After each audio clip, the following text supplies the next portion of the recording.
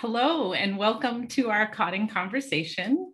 My name is Lindsay Cassavant. I'm the marketing director here at Cotting School, and we have got a great conversation for you tonight. I can't wait for you to meet so many members of the team focused on the transition to adulthood for students and families here at Cotting School.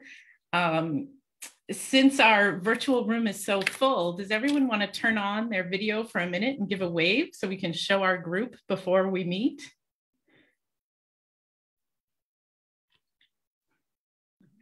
Hey, so nice to see you all. Um, so these are the faces of everyone you're going to get to meet. We'll save their intros for the conversation that we have.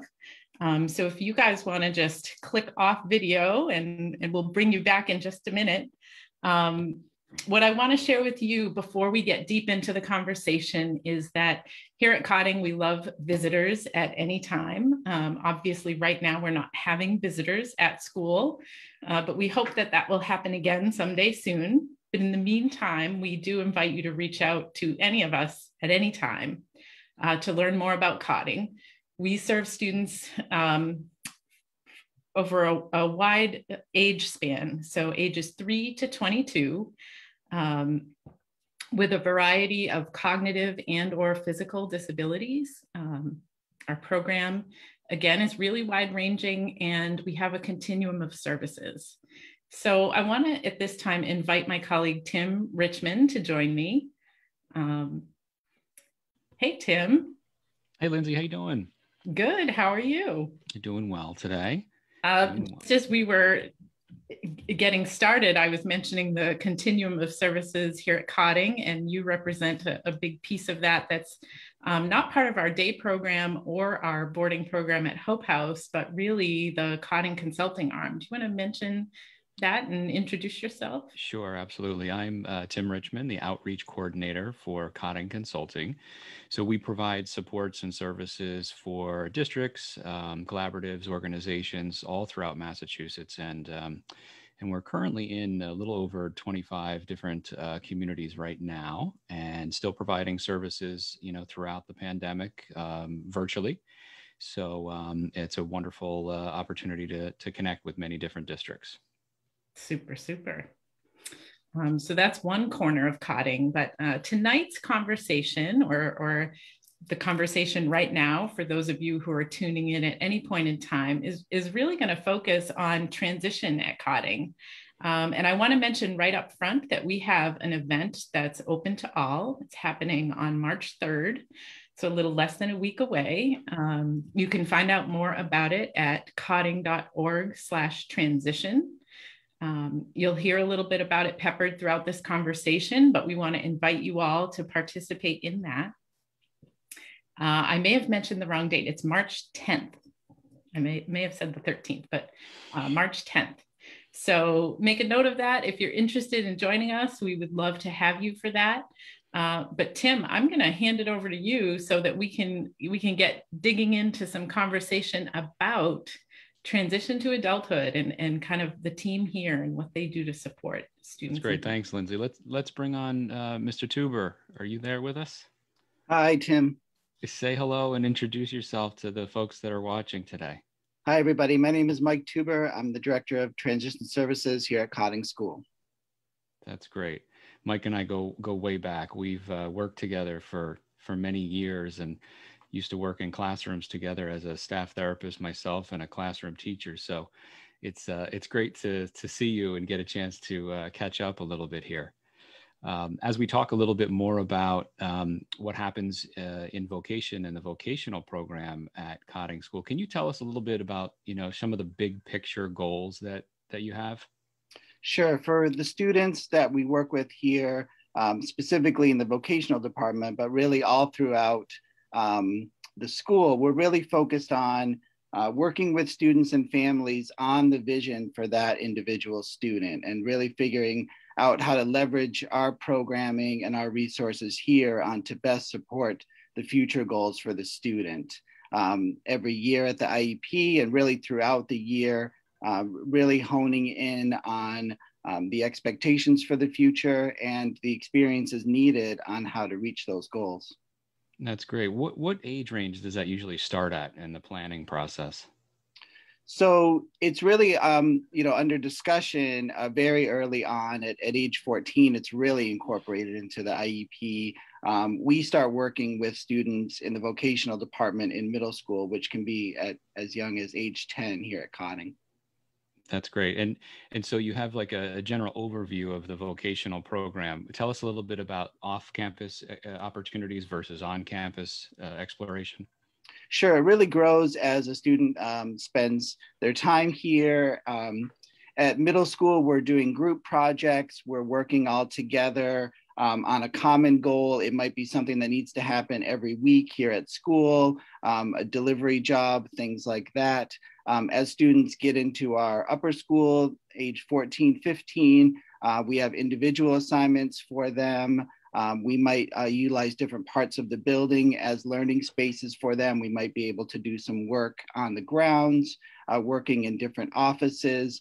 And um, at that point, we start to think about um, the off campus work experiences, which we offer, which typically start around age 16 and that's really where the vision once again comes really into to play because we're we're thinking about uh, the areas of interest for that individual and what things that they would like to learn about and practice. So we're very fortunate to have a lot of off-campus um, partners who host our students and their job coaches and really uh, having authentic work experiences um, that then um, you know, get a little more in depth uh, as the student gets into uh, age 18, where they have two opportunities weekly uh, to do these work experiences. And so by the time a student is finished, um, you know, hopefully they've gotten to see uh, quite a number of work sites and how they operate. That's great. And when we talk about the off-campus experiences, how are the students at Cotting uh, supported out in the, the community? So typically we look at um, two students and one job coach as kind of our core model. We okay. you learn a lot from adult services and the models that they use, and we want to have our students be as independent as possible. Um, but we do rely on our job coaches for transportation and supervision. Um, for many, many places that we go to, we're working directly with the individuals at those job sites um, just alongside of them as they're doing their tasks. Um, and that could be anything from you know outdoor landscaping work to supporting uh, the work of preschools to working in an office and uh, helping with animal care. So really a nice uh, variety of opportunities for our students. That's great. So many, I've seen so many happy students coming back in the halls um, you know, in, in prior years uh, during our when when we get back to typical times, uh, really just so excited about their work experiences and and telling me about it. So it's it's really wonderful to see. Now, how does this all tie into kind of the interdisciplinary process that we have? Because you have to be able to kind of interface and talk with some of our our teachers and our um, our staff uh, at kind of the instructional level. How does that kind of play in? Sure. So if we think about a student being out in the community really as um, the chance for them to really put their skills to work, then all those skills are being built uh, throughout their, their time working with um, our teachers and our therapists. And so as a team, we're always talking about um, supports a student might need in the community, certain tools or uh, strategies that support that student. And then instructionally, um, a, so much focus is about um, you know the community and different roles that people have in the community and how these things are connected. So the the instruction really supports um, our students as they get ready to go off campus. Uh, the preparation that the teachers do um, is fantastic in getting students in the in the mindset to go you know to go out into the world and really show their best selves and and um, and show their skills in different places. That's really great. I feel like I could talk to you about this for forever, Mike, because it's such a great uh, lead off here in the conversation about transition. Well, thank you. Let's bring in Sejal and Lola to talk a little bit more about what's happening um, at the level, you know, in school for instructional support. We've got Sejal. Hi, Sejal. Hey, Tim. How are you? Good. Hi, Lola. So as we talk a little bit more like how do we determine um, you know the instructional supports for Cotting students um, as they age up into the programs? Sure. so who, who would like to i am sorry who would like to tackle that one? Is that yeah is that sure. I, I can start. I'm, I'm actually just going to introduce myself. Um, so i'm Sejal Costa. I'm the director of post-secondary pathways at Cotting, and um, you know i've been a classroom teacher at Cotting for for many years. And uh, this position opened up and, and so a big part of this position is really working on the transition component as well as uh, working with our capstone program. Um, when and the capstone program is fairly new. Uh, this is our fourth year having the program that really focuses on our older students the 18 to 22 year olds.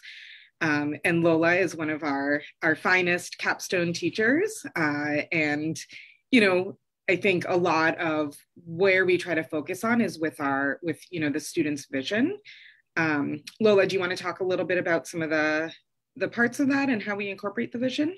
Yeah, sure. So really, I I feel like I'm going to be echoing what Mike has said already. Um, we really want, especially as our students are getting older, for their goals and our teaching and their learning to reflect their vision and the goals that they have and the goals that their family have. So we're really trying to create a person centered plan for their transition. So for each student, that's really going to look different. Sure. Um, our goal is that we want to best prepare them for whatever they're going to do after they graduate Cotting. For some students, that might be going to college. For other students, that might be having a job or volunteering. And for some students, that might be looking at a day program or something like that. Sure, absolutely. Yeah. Yeah. That's great. I mean, there's there's never a one size fits all approach. It has to be so as you you know talk about person centered planning it's so so important so uh, maybe um, we can speak a little bit about like how we teach that, or what is the curriculum um, in talking about different activities in the community? How does that get handled? Yeah, so you know, again, this because there isn't a one size fits all type of approach. We we pull from a lot of different curriculum. Mm-hmm. Uh, we look at you know we've started looking at lot at charting the life course and incorporating components from uh, that program. There's uh, the unique systems for learning. We use the life centered education curriculum, the LCE. Um, Lola, help me help me out here. I'm sure I'm blanking on some others that we definitely use. Sure. Um, and I, I think the really amazing thing about Cotting is that we have incredible teachers who are using these curriculum resources and they are planning and helping their students to have these really awesome real life experiences, um, community experiences to teach those important transition skills, um, you know, planning MBTA trips with their students. So students can learn to take the train, buy tickets, go into the city, make a purchase, shop at a store, um, scheduling the ride to go to work, going grocery shopping, going to a bank, visiting day programs or college campuses. Um, all of those things are happening in classrooms and out in the community. It's great. So it's it's real world experience. It's not just yeah. this, oh, we're going to simulate what it's like. Now you might yeah.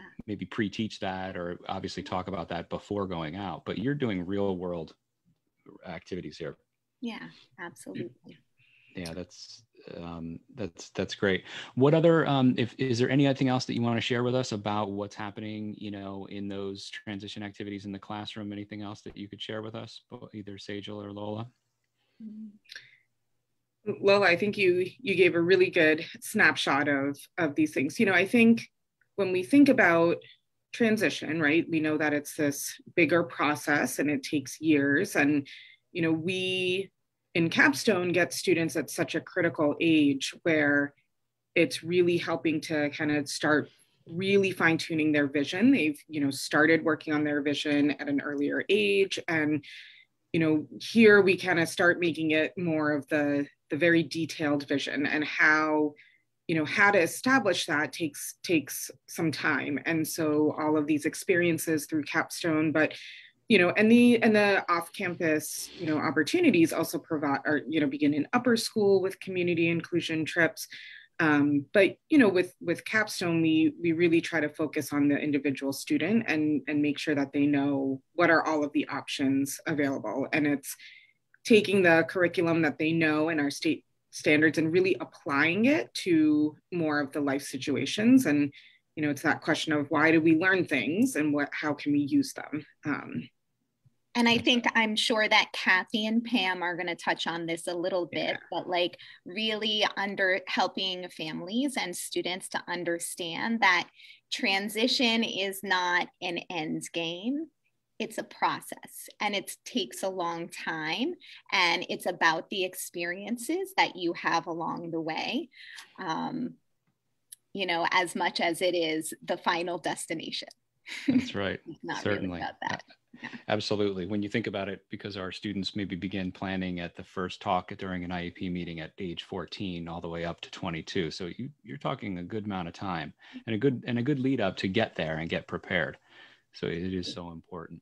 Well, Sejal and Lola, thanks so much for for sharing that information. I think everyone's going to find um, a lot of value in in in a peek into what goes on um, at Cotting Day program. So thanks so much. Let's um let's pull in Pam and Kathy. Welcome, Kathy. How are you? I'm good, thanks. Would you yeah. do a, a, quick introduction so that everyone Absolutely. knows? Yeah, I'm Kathy Tyra, and I'm uh, the guidance counselor at Cotting School, uh, a position I've had for um, 28 years. And um, I would like to say that I started in Boston, and and I feel really grateful to be able to work for such a organization that has been on the cutting edge right from the beginning. Um, that edge keeps changing um, and I also want to say that um, Lola is one of those fantastic teachers that she was talking about. And um, they are, the teachers are so creative, use so much technology and create such specialized materials from, from the curriculums that they mentioned. But those curriculums don't, aren't all ready to go. They have to be created and it's so individualized. And I'm always in awe of what they make. That's the truth, isn't it? Yeah, and she is a fantastic teacher. Pam, can you tell us a little bit about yourself as well for all the uh, folks that are watching? Sure, happy to. I'm Pam Varon. I'm the Family Support Coordinator at Cotting, and um, I've been doing that for um, almost 23 years. Um, I'm also the parent of a now adult who has a disability, and so I feel like I bring a perspective to providing support to parents. And um, and so i'm the person who's sort of there to um, provide connections and information and guidance um, from the time that a, a family comes to cotting. And um, and really um, value being able to be part of this fantastic team you know for for planning for transition or just planning for um, a child who has complex needs, um, it takes a team. And um, this is a really strong interdisciplinary team working on transition at Cotting. Absolutely. I've always felt that there's always someone that you can go to. And, and both Kathy and, and Pam, you're always a, an amazing resource for all of our families. So, Kathy, let's start with you for a little bit um, and talk about that support that you're able to provide families. And maybe we didn't really get into it too much, but about speaking about those key organizations that are out there that might seem a little bit daunting for some families um, as you speak about transition mm-hmm. um, and post 22. Sure. So um, I guess what I would say is that um, I like to take that vision that has been created by the teachers, by Mike and all the other, the whole team um, that students are beginning to have and, and figure out, well, now that we know that that's the vision, we have some ideas, we know that that vision will evolve and change, but now we have to get practical and how are we going to put that into action. And um, so that process starts with the, the IEP team deciding and thinking about together, which includes the parents and the teachers and all the therapists and the school district, everyone. Um, what is the most important adult service agency um, for these students to be referred to? And at Cotting, we generally use one of two. There are many of them. And so there are times we use others, but the majority of them is the Department of Developmental Services or uh, Mass Rehabilitation Commission. And that process begins with the IEP process to um, with a form that's called a 688 referral form and the school districts um, send those out with a pack of information after the team has recommended which team could be a lead agency. You may be able to get support from more than one, but that's sort of the beginning.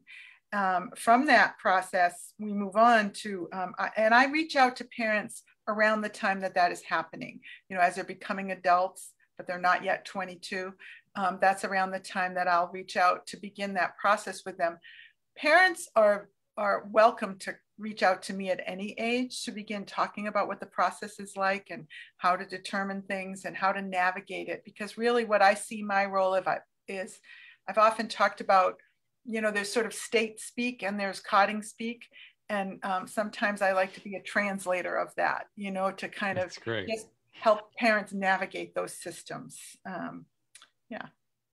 That's wonderful. That's really, really wonderful. Like I said, it can be a, a daunting uh, task, and and I think that's the message overall. And what we're talking about today is that we're with you, and Cotting is with you throughout the entire process, and we want to prepare all of our students post 22. So, Pam, when we talk a little bit about the supports that you provide, um, you know, through my experience in working at Cotting, you have been an invaluable resource to parents um, what are some of the um, uh, seminars? Uh, I, I, say seminars, but what are some of the panels that you've created over your years at Cotting to, to kind of bridge uh, parents together? Yeah, thanks for asking that. Um, I think of myself as well as kind of a connector, a connector of people connecting parents to resources and also um, I think one thing Cotting does well, and um, I think we all have a role in it, but it's as family support coordinator, it feels really important to me to be a place where um, parents feel like they have resources readily available to them. That if they have a question about something, if they have um, uh, if they're feeling like they should be some doing something but they're not quite sure what they should be doing that they have people to reach out to who also sort of understand that um, as as everybody has said transition is a process. Um, i know as a parent and i know the parent at parents at cotting know that kind of from the moment of birth or diagnosis you're already thinking about transition. It's one of the differences of the sort of trajectory we take as parents. Um, what will happen to my child? How will my child be functioning when they're an adult? So there are a lot of feelings that go along with this too. So we want to be able to have a place where we can sort of hold those feelings together and support, provide support throughout the process.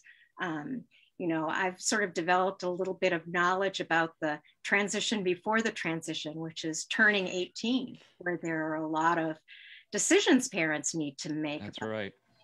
About SSI, um, about um, sort of refining that vision for moving from 18 to 22 to post 22, the adult agencies. It can feel so complicated, um, but we're really here to um, kind of provide a, some guidance and, and kind of a map of, you know, what kinds of things um, uh, can be taken on first, second, and third, and, um, and a kind of a roadmap for how to do that. Yeah. Um, and uh, also, we have enormous resources among our parent community, our family community and um, we um, are we always are trying to make connections between people who are a little farther on in the process with people who are looking to begin a certain part of the process of transition um, and uh, maintain really good connections with our alumni parents who can also be resources parent to parent resources for this process so hopefully all of that provides a kind of holding environment for something that can feel kind of anxiety provoking at times. Absolutely. Yeah, I, I, I can't agree more. You know that the the ability to to bring and uh, bring these parents together, and so we can talk about what their experience is, and maybe they're further along the line as you shared. It it's so valuable, and um, and that's one of those kind of things that doesn't get expressed enough about the Cotting community at at large. We have a great teaching staff, but our family network is is really important. Well, Pam and Kathy, thank you so much. You've both been extremely um, uh, extremely wonderful in sharing your experiences here and you're always providing a calm and i can just go into a little zen right now between talking with you both about it all. It's great. um, as we uh, will bring uh, back Lindsay and we can talk a little bit more if there's any um, kind of parting thoughts as we you know share a little bit more about uh, transition. We've had a, a, good kind of start to finish on on what the process looks like. Who are the key players at Cotting School? Um, so um, you know Lindsay were there any questions that came up at, at all on Facebook here yeah, Tim, there aren't. Um, I just took a peek in the chat, always keeping an eye on that. I didn't see any comments or questions that we can answer right now. Um, but I hope that anyone watching this, um, I know certainly people watch it in real time, but most of our views come in people watching the playback. We also add these to our um, our Cotting website at cotting.org slash conversations. Um, Tim, I, I, think this is about our fifth cotting conversation yeah. that we've logged. Um, something we've been doing since we can't have folks visiting inside the school, and we've really uh, missed that opportunity to just kind of open the doors and and yeah. help share information.